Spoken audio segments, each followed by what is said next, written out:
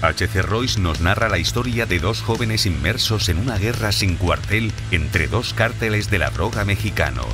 Deberán sortear las más duras pruebas si desean alcanzar sus sueños y objetivos. Una historia llena de peligros, amistad y amor con un final inesperado. Ya a la venta en editorialcirculorrojo.com.